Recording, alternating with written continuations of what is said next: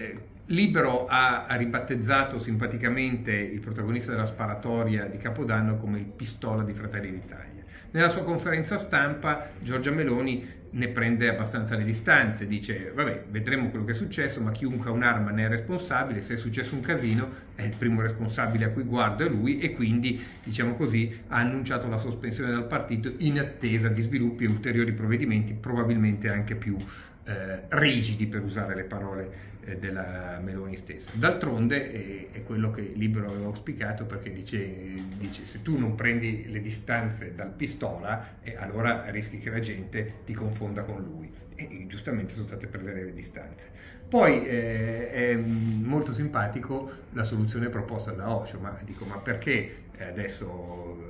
eh, non accaniamoci più di tanto? Questo ama le armi, eh, Zelensky ha bisogno di armi, ha bisogno di uomini, spediamoli in Ucraina a dare una mano, così noi diamo la prova in questo momento in cui l'Ucraina è molto in difficoltà di essere saldamente con loro e di essere il perno dell'alleanza eh, occidentale nei confronti contro la Russia e di Putin.